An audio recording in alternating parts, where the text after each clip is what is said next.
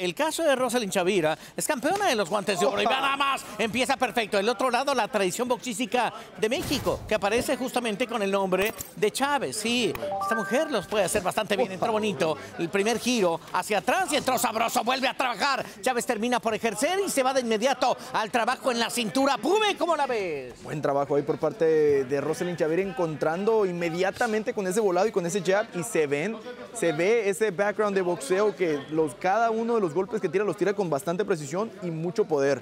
Hasta ahorita también contrarrestando ese buen boxeo con, con, esto, precisamente esto es lo que tiene que buscar Flor, ¿no? llevar la pelea contra la jaula o eventualmente a ras de lona para minimizar o quitar esa arma tan buena que tiene ese brío. ¿no? Y fue su plan desde el minuto uno, por eso quiere sacarle ventaja a esa cinta morada en Jiu-Jitsu, mientras que Rosalind le gusta el intercambio arriba, el boxeo, el hacer daño con combinaciones. Vamos a ver cuál de los dos estilos se termina imponiendo en estos primeros minutos. Trata de moverla, Chavira, de color rojo en todo su atuendo, el otro lado en color negro, Flor Chávez. Y, y Rosalind, eh, si algo está queriendo hacer, es meterle tantita más fuerza y potencia. Por lo pronto, eh, con la veteranía que tiene, va a tener que impulsarse con toda la fuerza para tratar de sacar adelante el combate. ¿A qué me refiero? Que quizá la mexicana, que ahora termina por generar este, eh, pues hablemos que es un, un derrumbe, pero sí, va a tener que hacer algo más.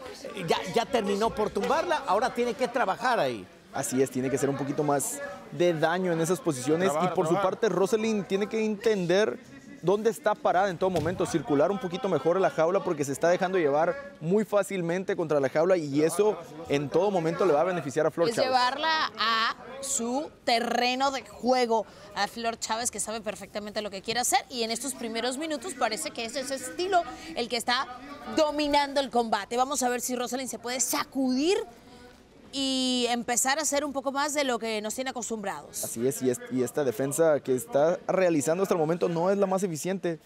Amenaza como con una guillotina, pero no sé si sea lo mejor porque junta las piernas y eso le permite a Flor Chávez también juntar sus brazos y es mucho más fácil llevar la pelea a ras de lona quitar el brillo de una mujer como Rosalind Chavira eh, no es fácil, es decir, porque sabemos la pegada que tiene, que maneja bien su boxeo, pero me parece que lo que está haciendo Flor Chávez ahorita de inicio no es malo. Cuidado, porque quedó atorada, terminó por dejarle la posibilidad y esa puerta abierta para eh, este, esta palanca al cuello justamente que le están generando. No es fácil, necesita trabajar ahí un poco más, pero creo que aquí empieza a acelerarse el pulso, empieza a generar una situación diferente. Vamos a ver qué tal salen las dos de esta zona. Verdad, no, no alcanzo a escuchar qué le está indicando la esquina a Rosalind Chavira, pero en mi opinión es un error estar intentando de manera repetida esa guillotina porque los brazos se llenan de sangre y se van a cansar. Y cuando tu especialidad es el boxeo, es lo menos que quieres. Bueno, uno, dos ahí por parte de Rosalind. Entró sabroso, entró una derecha durísima. Termina por pronar el puño. Vuelve a agarrarla. Se quedó parada justamente Flor Chávez. Y tiene que hacer esto, Flor. Tiene, tiene que, que bajarla otra vez. Cambiar, porque la recibieron de una manera terrible. Le sacudieron la cabeza. Si ustedes lo vieron, la mirada la tenía perdida. Pero la cabeza andaba en Marte. Qué bienvenida que le dieron. Y de eso platicábamos, ¿no? Del poder que trae oh. en los puños y se sintió. Lo resintió enormemente Flor. Pero estos son los errores que no debe hacer. Por, no, no, debe engancharse en, la, en, el intercambio a ras de lona ni tampoco intentar tanto este defensa. tipo de, de, de, llaves o sometimientos. ¿no? Ya vimos que tiene su prioridad en el boxeo y tiene que utilizarlo. Buena derecha ahí. Cuidado, se está metiendo en una zona complicada porque le está dejando toda la puerta abierta para que la ataquen. Si va a trabajar en el striking, necesita hacer algo más, tener más defensa. Ya se dio cuenta, la derribó en dos ocasiones, pero no, tra no trascendió a más. Tiene que tener un tantito más Flor Chávez para, para hacer algo. En, Carlos, en ¿y la, defensa no dónde está? nada. La defensa de Flor, ¿dónde está? Porque No le tiene. están entrando todos los golpes. No tiene, En este vuelve otra vez, izquierda y derecha. Fácil. Esta es cuestión de tiempo. Si sigue trabajando así, me la van Va a a. Ataca con patada y vuelve otra vez, está en su ritmo, está en su terreno. Vuelve a meterle, termina. Y lo que hace Flor Chávez, sí, se derrumba ella misma, se deja caer para que vaya por ella. Sí, pero me parece que no ha sido el mejor plan de ataque. No tiene defensa, le están pegando, le están pegando de verdad, Pube. Tiene que ser paciente también Rosalind. Buen trabajo hasta ahorita, buenas combinaciones.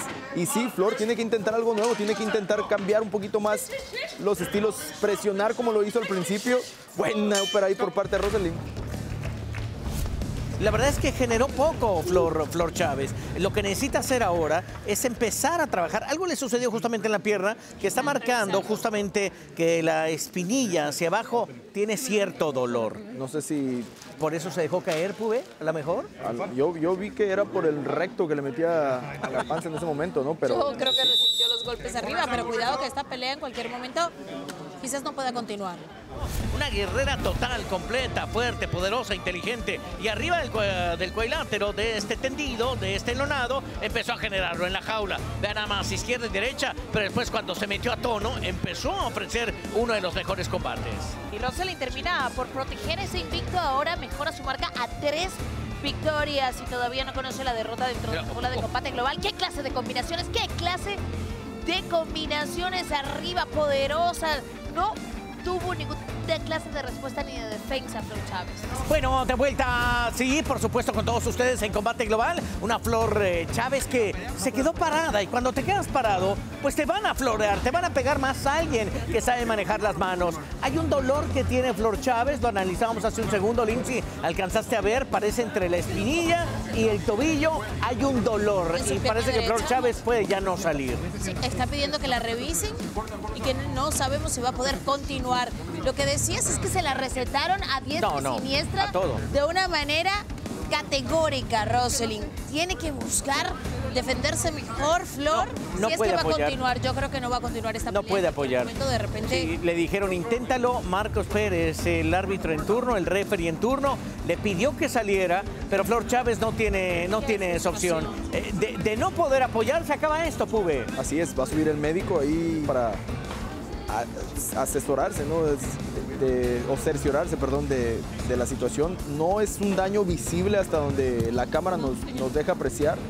yo sí pero lo veo inflamado. aparentemente- Si mi peleadora no puede salir a pelear, necesito yo tomar una decisión como esquina. Pero ya. es Para protegerla también. Y esto penosamente pues ya no va a dar para más. Es decir, eh, Flor Chávez tuvo un eh, buen inicio y ahí se acabó. Y ya bueno, Ahí está. casi. Lo decide el referee. Sí. Se tardaron se demasiado, es- es obvio. Si no puede continuar, no puede estar de pie, es innecesario el castigo que podía recibir porque sabemos lo peligrosa que puede ser Rosalind. Esto no es broma. Damas y caballeros, la esquina azul informa al referee Marcos Pérez que no puede continuar, obligándolo a parar el combate con un tiempo oficial de 4 minutos 59 segundos del primer episodio.